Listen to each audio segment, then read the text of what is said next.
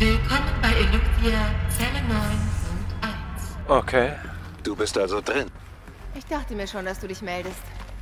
Sollen wir anfangen? Ich habe nie aufgehört. Alles klar. Trotzdem ist hier alles vereist und so kaputt. Das ist also Eluthia. Hier wurde ich geboren. Hier wurdest du gemacht.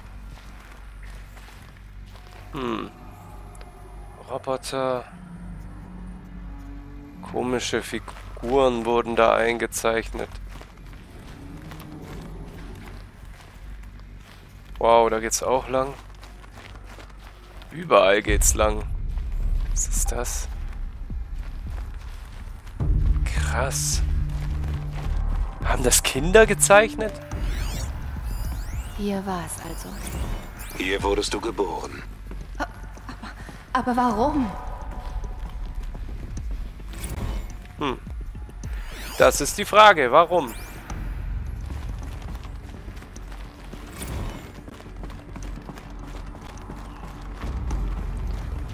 Vielleicht ist sie auch irgendwie... Hä? Der Moment. Tag ist jetzt vorbei.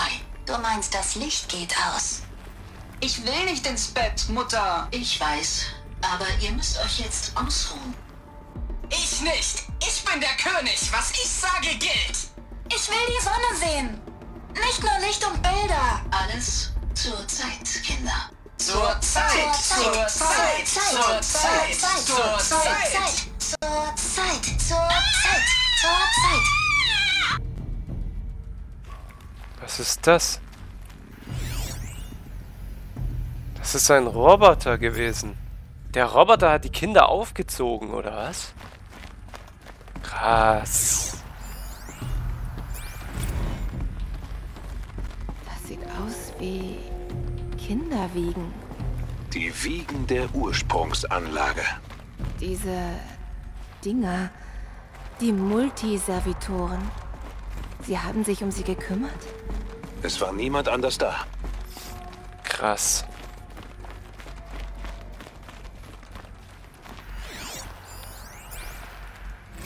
Eines Tages? Das sagst du uns jedes Mal. Wir wollen jetzt. Da ist viel Platz. Jetzt, Vater. Kinder, der Bereich ist noch nicht verfügbar. Auf ihn! Physische Aggression festgestellt. Physische Aggression ist nicht gestattet. Außer deiner. Verdammte Wächter! Kinder, wird meine Hilfe benötigt? Geh weg, Heilerin! Lena, du hast eine leichte Prellung. Verschwinde!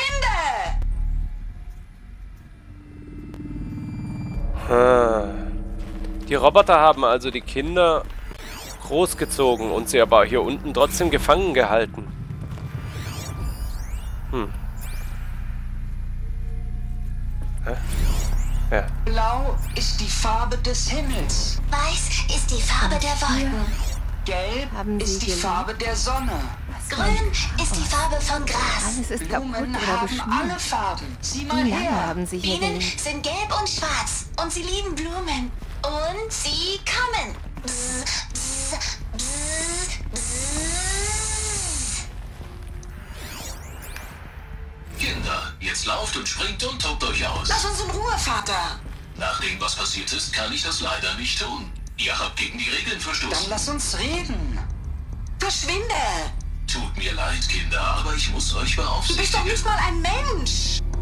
Du klingst frustriert. Jetzt lauft und springt und tobt euch aus. Krass. Ich muss euch leider entlassen. Aber warum? Es gibt hier keine Nahrung mehr. Und da draußen ist welche? Wir wissen es nicht. Los, kommt, wir gehen! Ich weiß nicht. Mutter, können wir zurück, wenn uns kalt ist? Tut mir leid, aber das ist nicht möglich. Ihr müsst euch jetzt selber helfen und einander unterstützen. Was passiert mit dir? Ich bleibe hier und schlafe und denke an euch alle. Was passiert mit uns? Ihr seid tapfer und werdet lernen. Sie waren hier gefangen. Ihr ganzes Leben lang. Die weite Freiheit immer vor Augen. Was ist schiefgelaufen? Warum konnten sie nicht in die anderen Bereiche hinein? Keine Ahnung. Aber du wirst dieses Problem nicht haben. Diese Tür haben sie anscheinend nicht sehr gemocht. Sie hat sich nicht für sie geöffnet. Natürlich haben sie sie gehasst. Und wie öffnen wir jetzt die? Identiscan wird durchgeführt. Ah, okay. Genetische Identität bestätigt. Ausgang autorisiert. Guten Tag, Dr. Sobeck. Bitte treten Sie durch. Also, was? Willkommen im Lyzeum, einem Ort des Lernens. Was war das hier genau? Der Traum von Apollo, der nie wahr wurde. Aber warum nicht? Oh Gott, wie viele. Willkommen, Schüler. Bitte nehmt euch einen Fokus und befestigt ihn an euren Kopf direkt neben dem Auge. Ich musste überall herumwühlen, um Fokusse zum Reparieren zu finden. Und hier lag ein Schatz, der niemandem nützte. Ja, Hallo, mein Kind. Mein Name ist Samina. Heute ist ein großer Tag. Dein erster Schultag. Es gibt so viel zu entdecken. So viel Neues. So viele Möglichkeiten. Fehlfunktion. Apollo offen. Apollo offline? Du hattest recht, Aloy. Das hier ist ein Friedhof. Das Leichenhaus des Wissens. Was wir alles hätten erreichen können, wenn es uns nicht verwehrt gewesen wäre. Vielleicht kann man das irgendwie reparieren. Aber das ist nicht der Grund, aus dem ich hergekommen bin. Natürlich nicht. Was zählt schon das gesamte menschliche Wissen, wenn es um die Herkunft eines einzelnen Mädchens geht? Mach mit deiner Suche weiter. Das werde ich. Vielleicht ist Eloy einfach ein Hallo, mein Hintertürchen. Kind. Mein Name ist Samina. Heute ist ein großer Tag. Dein erster Schultag. Es gibt so viel zu entdecken. So viel Neues. So viele Möglichkeiten. Schon wieder. Apollo offen. Hallo, mein Kind. Mein Name ist Samina. Heute ist ein großer Tag. Dein erster Schultag. Es gibt Fehlfunktion. so viel zu entdecken. Da unten so sind bestimmt Neues, auch noch mehr. So viele Möglichkeiten. Fehlfunktion. Apollo offen. Es werden mir so viele angezeigt, aber irgendwie... Na egal, ich gehe da mal hoch.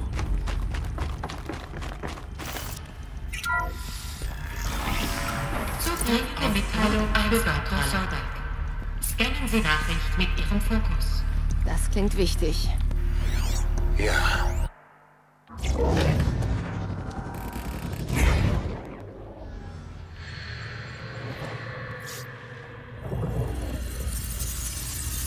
Elizabeth.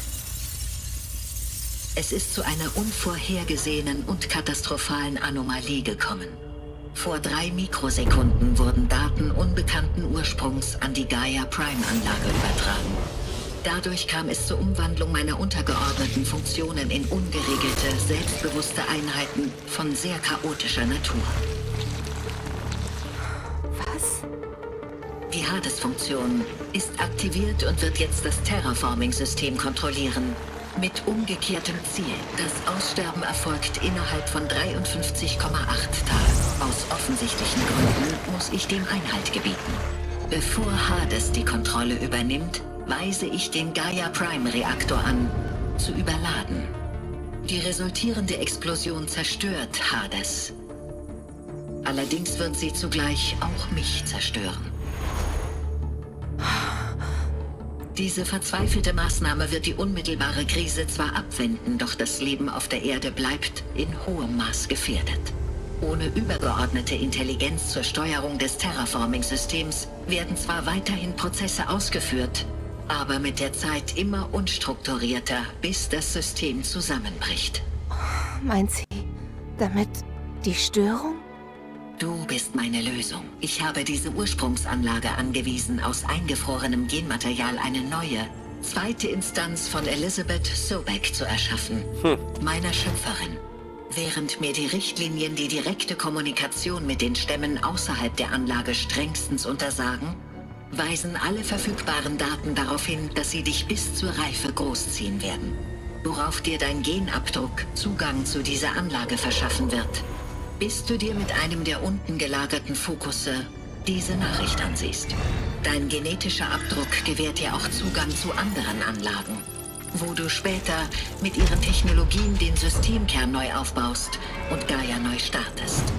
Ein Moment, Elisabeth. Dies ist äußerst unerfreulich und unerwartet. Als Reaktion auf meine Selbstzerstörung hat Hades einen Virus freigesetzt, der die Codesperre aufspringt, die ihn, die alle von ihnen, halten soll. Er, sie sind auf der Flucht. Aber wohin? Der Virus beschädigt Daten im gesamten System. Wenn... Oh. Die Alpha Registry der Ursprungsanlage wurde ebenfalls beschädigt. Doch in diesem Fall wird sich die Tür nie für dich öffnen. Du wirst die Nachricht niemals sehen. Ich habe versagt. Das Leben wird enden. Nein. Nein, Elisabeth, ich kenne dich zu gut. Ich weiß, du wirst einen Weg finden. Durch dich wird alles möglich. Geh zu den Ruinen von Gaia Prime. Finde den Kontrollraum und darin die Masterüberbrückung. Sie wird dir die Macht geben, Hades zu löschen, sofern du diese Macht einsetzen kannst. Versuche nicht, den Systemkern zu reparieren, bevor Hades beseitigt ist. Hades muss zerstört werden. Das ist alles. Ich möchte nur noch einmal deine Stimme hören.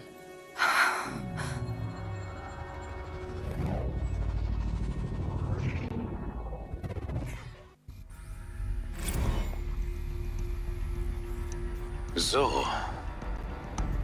Du bist noch außergewöhnlicher, als ich dachte. Ich hatte nie eine Mutter. Was redest du denn da? Du hattest zwei, eine Tote und eine Maschine. Ich bin kein Mensch. Nur ein Instrument. Hergestellt von einer Maschine. Geboren in Feuer und Zerstörung. Um das Feuer zu löschen und die Welt zu heilen. Wie tragisch, du bist eine Person von äußerster Wichtigkeit. Du hast wohl ein Schicksal zu erfüllen. Wenn du mit dem Selbstmitleid fertig bist, reise zur Bitterklamm. Ich werde dort in Gaia Primes Ruinen warten. Aha, okay. Hier können wir noch ein paar Sachen abhören. Ah, nee, doch nicht. Ist nur ein Protokoll. Identiscan Fehlfunktion korrigiert. Velocia 9 Route 1 Zugriff freigeschaltet. Finde ich hier irgendwo noch einen Energiekern? Ich brauche drei Stück von denen. Ach, egal. Finde ich wahrscheinlich nie. Oh, Mann.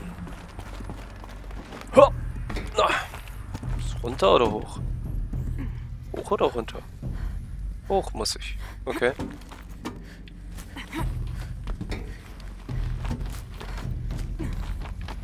Halt, wohin?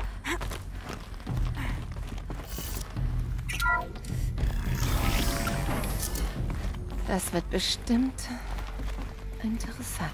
Genau, das wird bestimmt interessant gleich, weil ich muss aufs Klo. Und dann hören wir uns an, was die ganzen Mütter jetzt zu sagen haben. Naja.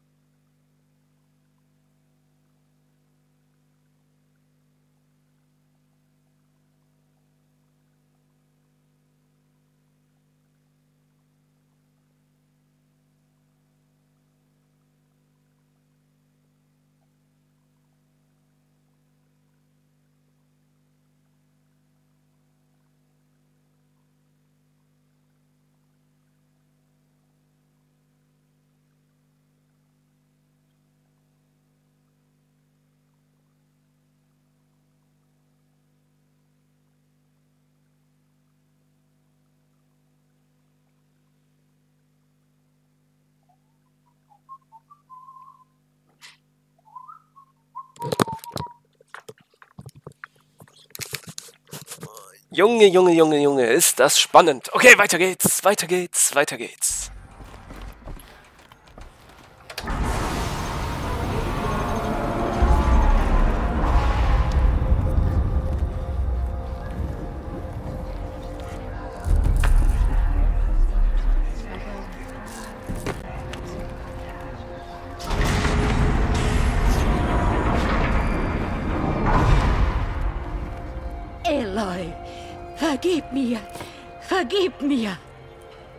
Göttin sprach zu dir? Das stimmt. Was hat sie gesagt? Dass ich geboren wurde, um einen Fluch zu brechen, den, den Metalldämon töten. Wie, Eloy? Wie? Äh, Ich weiß es nicht. Aber sie sagte mir, wo ich es erfahre. Und wirst du es tun? Es war ihr Wunsch. Sie erschuf mich dafür. Ja, ich werde es tun. Ich versuch's zumindest. Gelobt sei Eloy, Gesalbte der Nora! Gelobt sei nein, Gesalbte der! Nora! Stopp! Gelobt Stopp! sei Eloy, Gesalbte der Nora!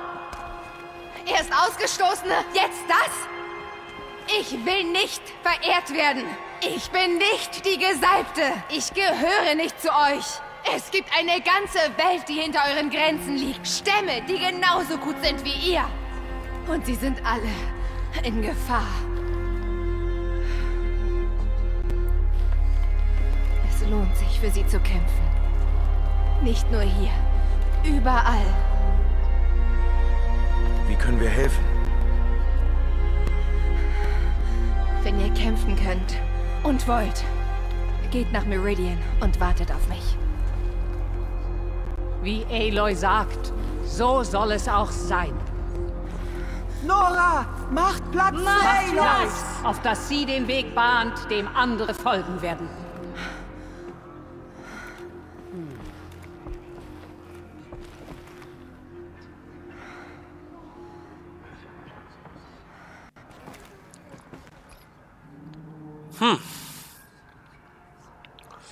Wir nähern uns dem Ende.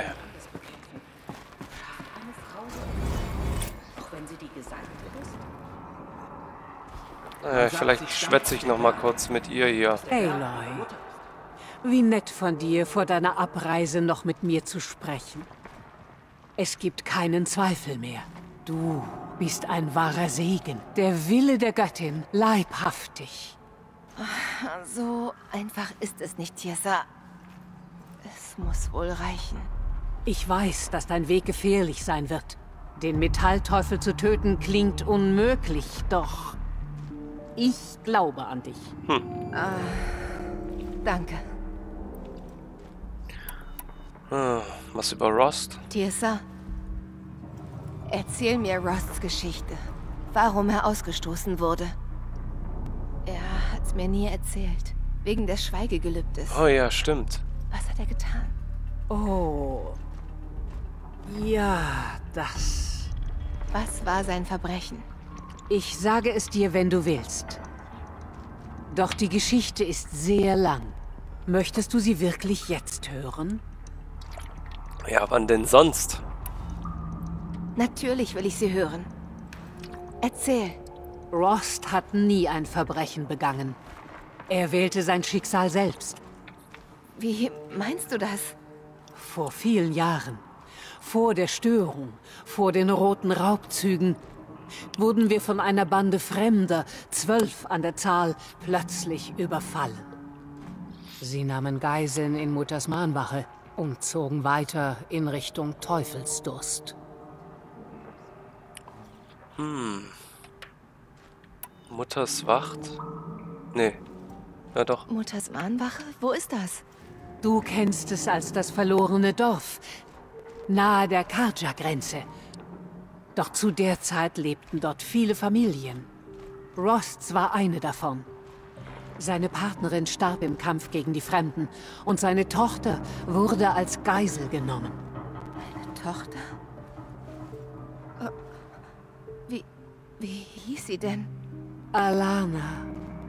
Sie war erst sechs Jahre alt. Oh. Oh je. Nora-Krieger konnten zwölf Fremde nicht stoppen? Oder die Geiseln retten? Es war einfach nicht möglich. Wir waren viel mehr. Doch immer, wenn ein Krieger in Schussweite kam, töteten die Fremden eine Geisel. Was wollten sie überhaupt hier? Das fanden wir nie heraus. Wir konnten uns ihnen ja nicht weit genug nähern. Wir wissen, dass sie zwei Tage lang bei Teufelsdurst lagerten. Es hieß, von dort kämen seltsame Geräusche. Und dann, so plötzlich wie sie kamen, zogen sich die Fremden zur Grenze zurück und verschwanden. Hm, okay. Was war mit Rosts Tochter? Wurde sie getötet? Rost war einer der Krieger, die den Fremden folgten, so gut es eben ging. Sechs Geiseln waren noch am Leben, als die Grenze erreicht war, darunter Alana. Statt sie freizulassen, schlitzten die Fremden ihnen die Kehle auf und ließen ihre Leichen kurz hinter der Grenze liegen, uns zum Hohn. Warum? Grausamkeit. Sie wussten, die gläubigen Nora würden das heilige Land nicht verlassen, nicht für die Toten und nicht zur Verfolgung. Sie dachten, wir könnten uns nicht rächen.